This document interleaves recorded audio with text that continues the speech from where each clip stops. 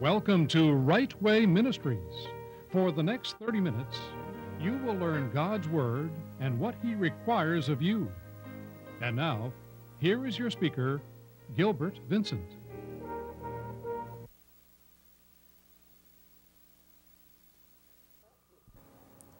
Praise the name of the Lord. Grace be with you out there and peace from God the Father, from Jesus his Son, and from the seven spirits that are burning brightly before his throne as I now speak. I want you to stay tuned with us because we're going to be tearing down things that are contrary to the word of the living God. And it's necessary for you to receive these things into your heart and soul so that you might be strong and be able to make it through the time of trouble coming upon the earth that there has not been since there was a nation, neither shall be after it. you got to be strong to go through that. And you won't if you don't ask God for help. And I'm here out of fear of God to help you because I'm going to tell you what He says. And what He says will help you. If you follow instructions, you'll make it out of here alive. And it, without His instruction, if you despise instruction, the Bible says you love death. If you don't want to die and go to hell, if you want to make it out of here alive, you got to receive the instructions from the Holy Scriptures. But you won't receive anything spiritually unless you go up to the throne of the living God, the Father of spirits, and ask Him to pour out of His Spirit upon you to make you to understand the reading. So either change the channel or join me in prayer right now because He said, with two or more gathered in my name, there am I in the midst. I want the Lord to be right here and I want Him to break the bread down and give it to you and multiply it unto you. Increase your learning right now. And He'll do that if we ask. That's how He instructed us to pray. He said, when you pray, say, Our Father.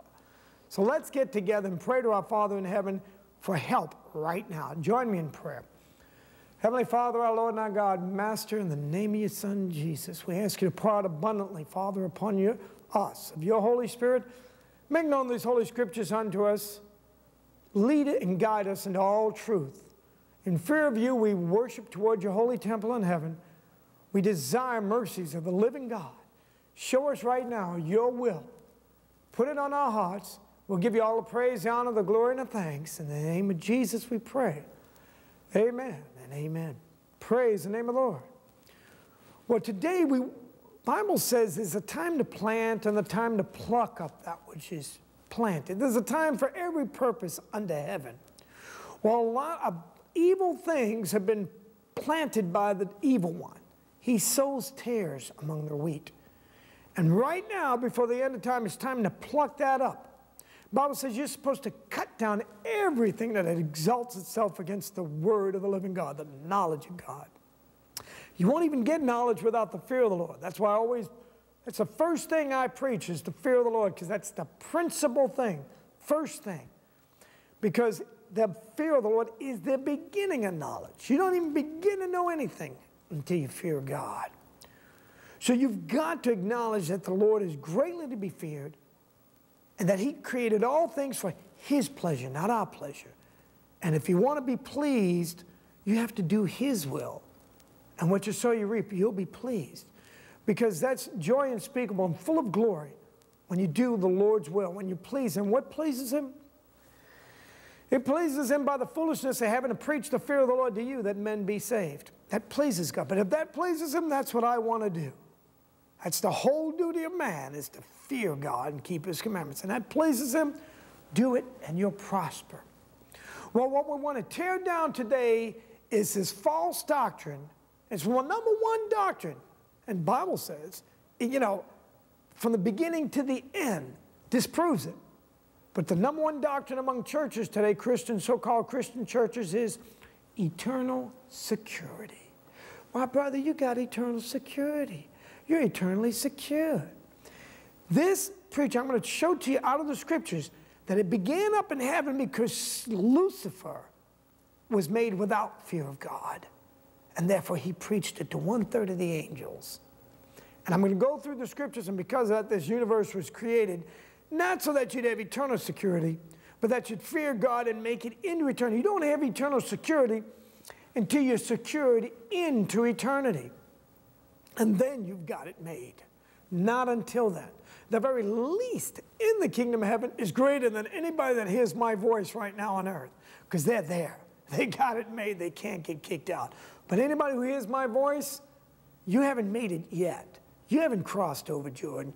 You have to continue in well doing. And you have to continue. You got to work and perfect holiness in the fear of God. No works, faith without works is dead. You're dead. You ain't going to make it. You got to be alive to make it.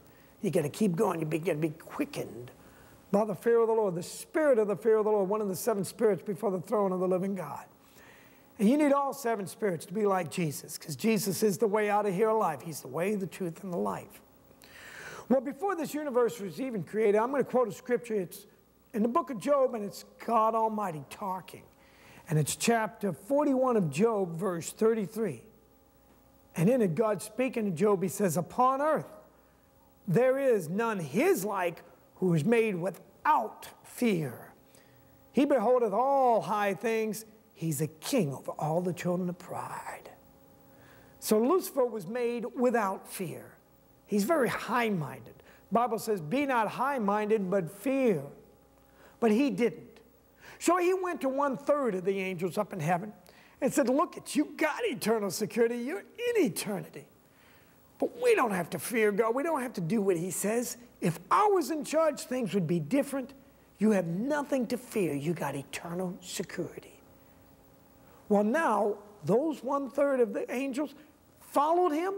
They left their first estate. They had estates, they had mansions up there. They left it. Now they're in chains to darkness. Can't repent. No eternal security for them poor devils, is there? They can't get back to heaven. They're out forever. And if you keep the fear of the Lord, He'll keep you and you'll move into their vacancies. But without it, you're lost. So Satan saw that he was cast down into this new earth that God created because darkness was upon the face of the earth. He's the prince of darkness. So he went to the first couple that was instructed by God to fear him not to touch that fruit of knowledge of good and evil. Don't touch it lest you die. Don't eat it.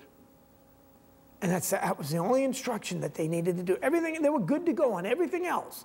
The only thing was not to do with that. And the fear of God was there because the woman said, hey, no, we can't do it. She knew that.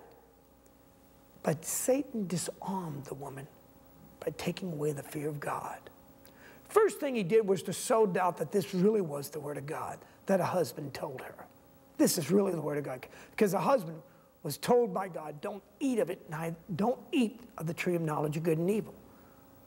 And then when he saw he didn't have any friends, so he made the woman to be a help meet. And so Satan went after the weaker of the two vessels. He went after the woman. And I'm reading out of the third chapter of Genesis, verse, well, very first thing, verse 1, Satan says, and this is the verse voice of Satan, and the first recorded words, is sowing doubt in the Word of God. Yea, hath God said, Ye shall not eat of every tree of the garden? That's his first, his first words were a question, a doubt to sow to the woman. And the same thing to you. Oh, did God really say that in the Bible? Can you really trust what that character on TV is reading out of? His word's going to abide forever. You can trust it. Heaven and earth, all flesh is going down, but this word that I preach to you it's going to last forever because God spoke it. He said it, and it's settled. It's already settled. It's going to, he's going to fulfill all his pleasure because he created all things for his, his pleasure, yea, even the wicked for the day of evil. Everything was created for God's pleasure. So he's going to fulfill all his pleasure. So here's Satan sowing down. The woman said, No, we can't eat of it. You know, there's a little fear of God there. He had to take away the fear of God. Verse 4 and the serpent said unto the woman, Ye shall not surely die. You don't have to fear God. You're not going to die. You got eternal security. You don't think God would kill you. God is love. He, you're eternally secure. God gave you all things. He's a good God. He wouldn't. You don't think God would kill you, do you? If you don't think He would, check out a graveyard, okay? People are dying like crazy. And it's because God's word stands, and their words cease. My words, I'll cease. Let every man be a liar. I can lie to you. But if I'm quoting the word of God, I'm letting God be true to you. And out of his word, he's saying that Satan came to the woman preaching eternal security. What happened? She did, didn't she? And it's the same now, he's coming to you. He said, Oh, once you're born again, oh, thou shalt not surely die. You've got eternal security. Well, I'm going to read to you out of, out of the scriptures how God, having saved the children of Israel out of Egypt, delivered them from bondage, took them out of the most powerful nation on earth, freedom, destroyed them in the wilderness. Doesn't sound too secure to me. Only two of them, Joshua and Caleb, made it in. The rest of them didn't make it. Didn't make it. They're, they're, they're still in the desert. Their, bodies are still in the desert, part of the You want to make it into heaven? You got to deny yourself, and you got to, in fear of God, follow instructions, or you'll preach eternal security too. You'll tell others, oh, no, no, I've got it made. Well, here, Paul the apostle wrote 85% of the epistles. He labored more abundantly than all the apostles. And in proof is in the pudding. You can just read his epistles and see that they're more abundant. And he says, I don't count myself to already attained. But yet all these ministers say, oh, I've already attained. I've got eternal security, and you can have it too if you tithe to my work and receive my teachings and buy my tapes. My tapes aren't for sale. They're free, okay? Freely I receive, freely I give. Because I know the Lord is merciful. He freely showed me. And whenever he shows you something, it's not supposed to be kept secret. It's supposed to come abroad. So I'm getting it out to you. What you do with it is your problem. You can, you can receive it and be stronger and, and be in more of fear of God and work out your own salvation with fear and trembling, or you can just choose to reject it and gamble. But I'm just going to tell you what the Word of God says. Well, God was talking to Moses, in, and at, when he brought him out, he's on the mount, he gave him the Ten Commandments, and yet God had showed him what he wanted. Now, here's God, Almighty, created every atom. And here's this little man, Moses, on top of this mountain in a desert dry place. And here God lets his feelings out to Moses when he's talking. He talked to him as a man talketh to his friend, even thus, mouth to mouth. So he's talk, talking to Moses. And normally, you know, when you're talking to somebody that's under you, you don't let them know how you feel. You say, hey, look, take care of this. Go ahead. I want you to pick up this. I want you to go deliver this. Just go ahead and do it? You don't let them know, hey, man, I'm really having a hard time. I really wish you'd help me or something. No. You don't tell them that. You pay them, you get the job done, and that's, that's it. That's your duty. Bible says, what is your duty? Bible says the whole duty of man is to fear God and do what he says. Respond. One third of the angels didn't. They didn't keep their place before God. Now they changed the darkness. They can't repent. You got to keep your place. So he's speaking to Moses, chapter 5 of Deuteronomy, verse 9, and he lets his feelings out. He just lets it out. He says, Oh, that there was such a heart in them, that they would fear me and keep my commandments always, that it might be well with them and with their children forever. You want to get some eternal security? Fear God and keep his commandments always. So it'd be good, it'll be good for you and your children forever. But the people, the covenant that uh, he made with Moses, the children of Israel that came out of uh, Egypt, they broke that covenant. They didn't keep why? Because they didn't, they didn't have a heart to fear God. And that's what he wanted. He didn't tell them they were eternally secure. He told them, no, no, you got to have a heart to fear me. And if you do, it'll be well with you forever. Well, it says in Jeremiah, he spoke to Jeremiah hundreds of years later, Jeremiah the prophet, and he spoke to him in chapter 31 of uh, Jeremiah, verse 31.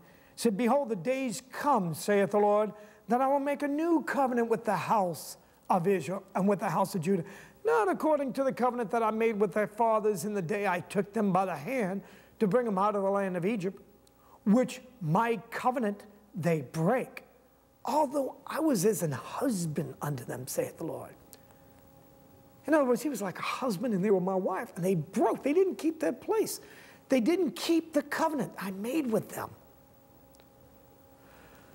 Verse 33 But this shall be the covenant that I will make with the house of Israel. After those days, saith the Lord, I'll put my law in their inward parts and write them in their hearts, and will be their God, and they shall be my people. So he's going to make a new covenant with the people. What's this covenant like? Turn to chapter 32 of Jeremiah, the very next chapter, verse 38.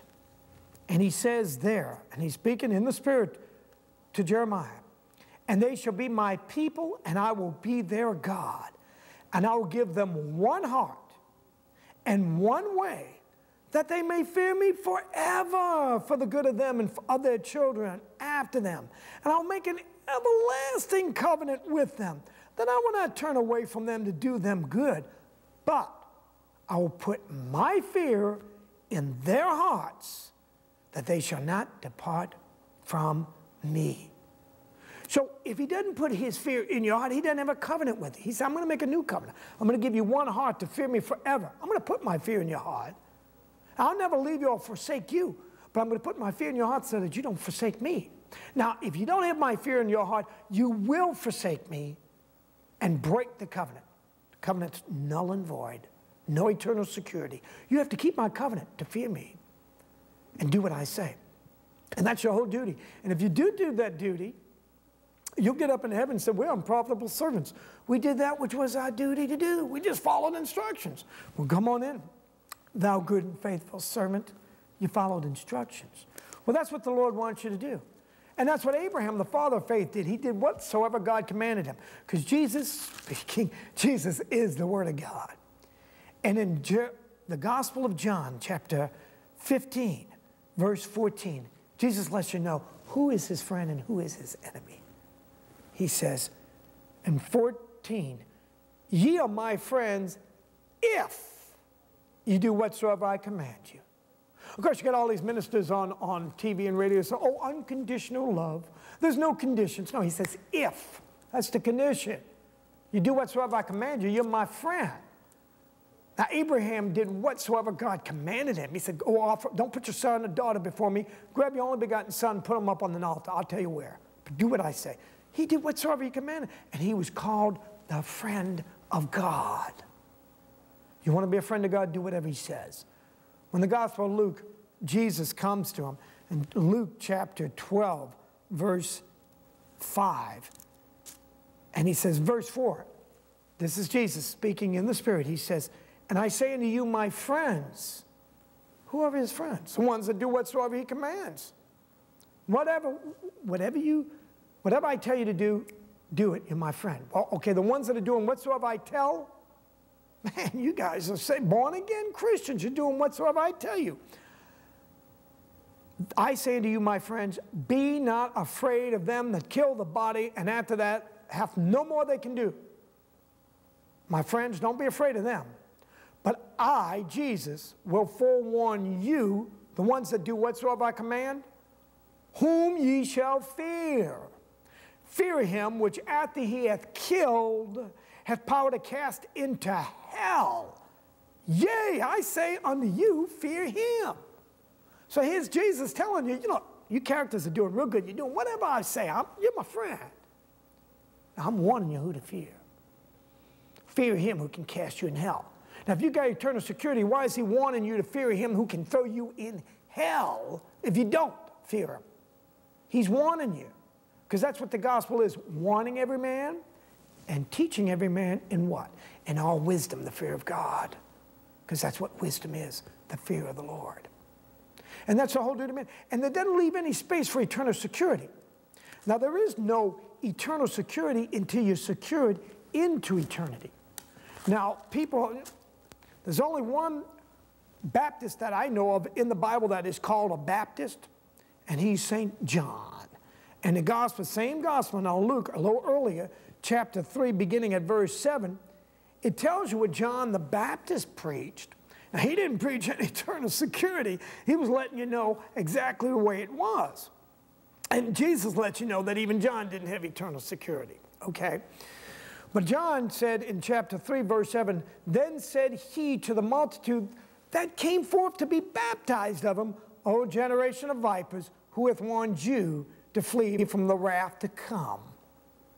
So here these people, they're coming down to the altar. John, you think John let up on them? No, he said, you bunch of snakes, unrepentant people, don't even have a need to repent on. It's not really in you to do this. With men, it's impossible. You better get a hold of God. Proof is in the pudding. You better fear God. Who hath warned you? Is this really you coming forth in the fear of God? Is this the spirit of the fear of the Lord coming down on you, leading you to repentance? Are you doing it for a show? You just want to be accepted with the people. No, you better, fear God, get a hold of God. Don't worry about what anybody thinks. Next verse. Bring forth, therefore, fruits worthy of repentance, and begin not to say within yourselves, We have Abraham to our father. Abraham was a friend of God. He did whatever he commanded, and we have him as our father. Don't begin to say that. For I say unto you that God is able these stones to raise up children unto Abraham. You be thrust out, and these children be raised up to Abraham. Verse 9. And now also the axe is laid unto the root of the trees. Every tree, every tree now, that's Baptist trees, Lutheran tree, any kind of tree. Every tree, therefore, which bringeth not forth good fruit, hewn down and cast into the fire. So that doesn't sound too secure to me if you don't bring forth good fruit. You've got to bring forth fruit meet for repentance. It shows you meet the criteria for repentance because you preach the same. He that heareth speaketh constantly, and remains constant. You got to fear God. Well, that's what John was preaching. But you know, John later on in, in the epistle, in the gospel of Jesus, he began to waver. He said, uh, Art thou really he that should come? Uh, look we for another. And Jesus had to send back. He sowed, John actually sowed doubt in his followers by saying, Go and ask him again. Art thou really he that should come, or look we for another? John had already proclaimed, Thou art the Lamb of God that taketh away the sin of the world. You're the one, you're the man. That's it. But now, when he's in jail, about to lose his head. And they're sharpening that axe out there. And he's going to lose his head. He said, Man, the axe laid the root of every tree. I want to make sure, uh, art thou really he that should come? Or do I look for another? I mean, if you're the one, I'm your main man. I came before you, prepared the way. I'm a good prep man. Spring me out of here. If you're the one, or do I look for another to spring me? You know, Jesus sent back encouraging words to John. He said, The dead are raised out here. Go show John again. So what if you lose your head for the, I'm raising the dead out here. He said, the poor of the gospel preach. I'm not charging them $29.95 for my tapes. It's free. The poor have the gospel preached. And Jesus ended his encouragement to John by saying, and blessed is he whosoever is not offended of me. I'm saying the same thing to you today. Don't be offended at this, the word of God. There's no eternal security till you're secured into eternity. You have to keep your body under and bring it into subjection lest after you preach to others, you be a castaway. You will be cast away into outer darkness if you don't, in fear of God, preach the same thing constant. Straight as the way, straight out of the scriptures. Don't get deceived. Because Jesus said, hey, there hasn't risen a greater born of women than John the Baptist. Now you got three fourths of the old Bible full of godly men. There hasn't risen a greater than John. Nevertheless, Jesus said, He that is least in the kingdom of heaven is greater than John. Why? Very least one in it got it made. He's in heaven. That's why he's there. He's eternally secure. But John's wavering over in jail right now. He ain't got it made yet. I got to go encourage him again. I got to show him again. I got to reprove him. Why? Because reproofs of instruction are the way of life. You want to get out of here alive, you got to hear characters like me tell you again what the Word of God says, and again, and again. Because God knows that we're but dust, pretty dumb. Are we like sheep, go astray? And so he had, the words of the wise were as goads, like a sharp pointed stick to poke you and get you going in that straight narrow way. Because if you don't, if you don't stay in that straight narrow way, I stay in the straight narrow way for fear of the Lord, because he means business. He says what he means and means what he says. And if you don't do it, well, then you're tempting God. And Jesus said, Thou shalt not tempt the Lord thy God. Don't tempt him. In fear of him, worship toward his holy temple heaven. Look up and rejoice. Your redemption draweth nigh, but you got to keep your body under. Now, Paul, reading to the Philippians, where he was jailed and shamefully entreated at Philippi, he wrote unto him, he said, chapter, and I want you to read this, chapter 2, of Philippians, verse 12. Wherefore, my beloved, as ye have always obeyed, remember, if you do whatsoever I command you, you're my friends. If you have always obeyed, not as in my presence only, but now much more in my absence, work out your own salvation with fear and trembling. For it is God which worketh in you, both to will and do of his good pleasure. Now, if you're doing all things in fear and trembling, then yeah, yeah, it's obvious God's working through you. But if you don't fear God and tremble at his work, he can't work through you. He's not working through you. But if you work it out, I mean, you know, break a sweat, work out your own salvation, faith without works is dead. You got to work it out. Well, then he's working through you. He'll use you. He'll work in you. Now, Paul says, next, very next chapter, chapter 3, verse 11. This is Paul the apostle now, who labored more abundantly than all of them. Even Peter said, hey, don't wrestle with what Paul says as they do the other scriptures. What he says is scriptures. It's the word of God. Don't wrestle with it. Just do what he says. He rebuked me and I had to listen. So listen to what Paul's saying right now. Verse 11, if by any means I might attain unto the resurrection of the dead. Anyway, man, I just want to make it out of here alive, Paul says. Verse 12, not as though I had already attained, either were already a perfect. So Paul hadn't attained, he doesn't have eternal security yet. But I follow after, if that I may apprehend that for which also I am apprehended of Christ. Hey, I'm a prisoner of Christ. I got apprehend. I, I was apprehended by Christ to obtain eternal life. So I'm following after that I may apprehend it, that God can work through me to apprehend eternal life, the goal set before me. Verse 13, brethren.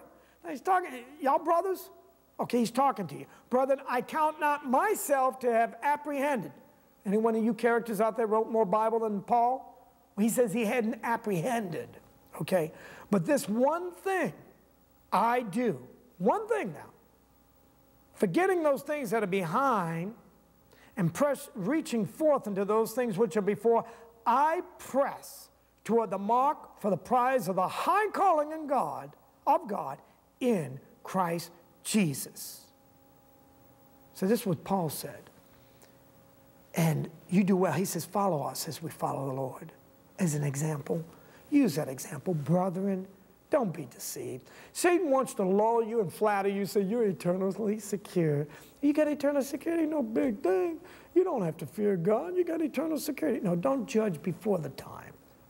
Endure, he that endureth to the end, the same. Jesus said, now do this or else. He, he warned the churches. If you're in a church, he warned you, do this or else I'll blot you out of my book of life. You had to be written in to be blotted out. I'll move your candlestick out of its place. You had to be in place to be moved out. Or he says, Lest I spew you out of my mouth. You had to be in the body of Christ to be spit out. So do it or else. These, these are the scriptures of the living God pleading with you. Don't be deceived by the flattery of the tongue of the Antichrist and of all the false churches that go back to her. Protest and stand by the word of the in fear of God because the fear of man bringeth a snare. Don't fear what man will think of you. Fear what God will think of you if you don't do what he says. And he says, fear him. Your whole duty is to fear him. If you doubt anything I'm saying, the scriptures are here. You call that 800 number, 850-7448, anytime. We'll be ready to answer you with meekness and fear, okay? Because we fear God. We'll tell you, hey, no, it's really in there. We didn't make it up. And tune in next week, Lord willing, weather permitting, we'll be alive and preach to you again the fear of the Lord. Until next time, praise the name of the Lord. If you would like to communicate with this ministry, write to Right Way Ministries at Post Office Box 305, Mansfield, Texas 76063. That's Right Way Ministries, Post Office Box 305, Mansfield, Texas 76063 or you can call toll free at 1 800 850 7448. That's 1 800 850 7448. Remember, those that feared the Lord spake often one to another.